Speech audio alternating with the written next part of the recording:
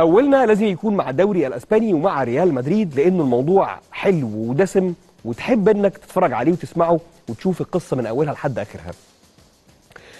أنا الحقيقة كنت مستغرب جدا إن جوارديولا بعد ما عدى عليه كل العتاولة من ميسي لإنيستا لتشافي لكل أنواع اللعيبة الكبيرة اللي وصلوا إلى level الأساطير إنه يبدي هذا التعجب في 2021 لما اتفرج على بيلينغهام في أرض الملعب. لما شاف بيلينغهام قال للناس لا يمكن يبقى صادق في عمره. ده مستحيل يبقى عنده 17 سنة. القرارات دي اللي في الملعب الشخصية والزعيق على إن الكره ما بتجيليش وليه أنا أنا مش الكره بتجيلي وبلعب وبنقل الملعب. شخصية كبيرة جدا لواحد سنه صغير جدا. ولما تشوف الكواليس مع مانشستر يونايتد الناس جوه النادي يحكوا إنه بلنجهام لما راح النادي هو ووالده تمهيدا للانضمام الذي لم يتم لمانشستر يونايتد اتفاجئوا إن أبوه بيسأل النادي عن المدربين وتغييرات المدربين وسير العمل وسير النادي. بل وطلب من إدارة النادي توضيح كامل بشأن إذا كان بلنجهام هياخد دقايق قد إيه بالظبط مع الفريق. الناس حاولت ترد على قد ما تقدر لكن في النهاية وصلوا إنه إيه يا أخي ما بالراحه علينا يعني. فاستغل بروسيا دورتموند الموقف وراحوا لبلنجهام بعرض كان يبدو مثير جدا وقالوا له إن أنت معانا. هتحصل على دقايق لعب. وده كان في حوار نشر عبر بي بي سي لما بلنجهام اتكلم وقال إنه في دورتموند عرضوا علي الموضوع بشكل له علاقة بدقايق اللعب وقال فيه إذا جئت إلى هنا ده كلام دورتموند قالوه له يعني إذا جئت إلى هنا سنطورك وسنأخذ دق وسنأخذ دقائق لعب وستكون لاعب دولي خلال عامين بالتأكيد تريد اللعب في فريقك الذي تشجعه طوال حياتك لكن الوصول للقمة وإثبات إمكانياتك ده اللي هيحصل هنا في دورتموند. وده اللي حصل. إيه علاقة ده بقى باللي حصل الأسبوع ده؟ مع انتقال بيلينغهام لريال مدريد وبداية المباريات مراسل شبكة ذا اتلتيك كان موجود في ألميريا في مباراة ريال مدريد مع ألميريا. شاف بعض الكواليس هناك كانت بالنسبة له غير عادية. مثلا لقى إنه بعد نهاية المباراة في اتنين ضباط شرطة اتنين ضباط شرطة موجودين واقفين ورا الملعب وبيستعدوا إن هم يستقبلوا اللعيبة وهي خارجة.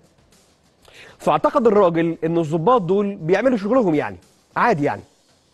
لغاية ما اتفاجئ إنه واحد منهم راح لبيلينجهام وطلب منه إنه يلتقط صورة معاه والتاني كان جاهز بالتليفون مفتوح بالكاميرا علشان يتصور مع بيلينجهام. بيقول الراجل إن التأثير اللي أحدثه بيلينجهام في ريال مدريد مش ممكن عقلي يتخيله. وهنا التأثير بعيدا عن الفنيات العظيمة وإن الراجل بيعوض ولو لمدة مباراتين. ابتعاد كريم بنزيما ورحيله عن ريال مدريد لأنه بيعمل كل حاجة في الكورة وكأنه مهاجم يعني. لكن التأثير هنا له علاقة بالبيئة نفسها.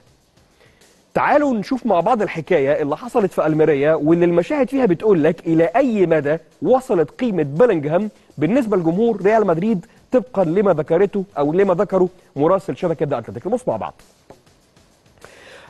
مقال جوليرمو راي مراسل ذا اتلتيك بعنوان ظاهرة بيلينجهام تحتل اسبانيا على الرغم من المسافة والاختلافات الثقافية مع موطنه برمنغهام لم يفكر العديد من جماهير الميريا في التوجه للملعب علشان يرتدوا قميص ريال مدريد رقم خمسة بتاع بيلينجهام أقيم معرض المدينة وكان بيلينجهام حاضر على شكل أوشحة وقمصان تيشيرتات عليها وشه وكأنه هو أهم لعيب موجود النهاردة. أهم حد موجود النهاردة. كان موجود في كل مكان في المباراة وكان أكتر حد بيتم الإشادة بيه لدرجة إنه لما است... لما تم استبداله في الدقيقة 81 كان الأمر متشابه جدا إنه بيلينجهام بياخد دايما تصفيق حار رغم إنه كسب الفريق اللي جمهوره موجود واحتفل كمان بالهدف الأول بطريقة إيرلينج هالاند اللي ممكن تبقى مستفزة أحيانا لجماهير ألميريا. لكن بيقول جوليرمو مع ذلك لم يثر ذلك الاحتفال غضبا في المدرجات وبعد صافرة النهاية اختلط بالجماهير المنتظرة حول خلفية الاستاد وأهدى قميصه في إيماءات أخرى كثيرة تميز شخصيته. خد بالك بقى.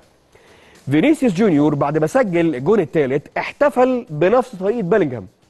بل وخرج بعد المباراة قبل ما يتكلم على أي حاجة اتكلم على إنه يتمنى إن العلاقة مع بيلينجهام تكون هي نفس العلاقة اللي كانت بينه وبين كريم بنزيما. الثالثة كارلو أنشيلوتي في المؤتمر الصحفي قبل أي سؤال موجود عن أي حاجة تخص أي مباراة في المؤتمر ما قبل وما بعد يسأل أولا عن بيلينجهام. كل حاجة في ريال مدريد أصبحت تسير على بوصلة بيلينغهام شخصية قوية جدا. رجل محبوب عرف إنه إزاي يروح يعرف ياخد اللقطة لدرجة إنه في نهاية المقال ده الراجل بيقول إن إحنا بقينا دلوقتي عايشين في في زمن هو زمن بيلينغهام مش زمن فينيسيوس. وحضراتكم فاكرين الحلقة اللي قبل اللي فاتت اتكلمنا على إنه فينيسيوس ده كان اللعيب الوحيد في ريال مدريد اللي يستاهل تغير الخطة عشانه لكن يبدو إنه بيلينغهام وتعامله مع اللعيبة الكبار زي توني كروس وإنه ال head to head اللي أصبح موجود بينه وبين أي حد فرض شخصية كبيرة في وقت قليل بعيدا عن الفنيات العظيمة اللي كانت موجودة على مدار المباراة. حقق ريال مدريد الفوز بعد ما كان متأخر وبيلينغهام كالعادة هو اللي صنع الشو وكان يستحق بالفعل أن يكون نجم المباراة.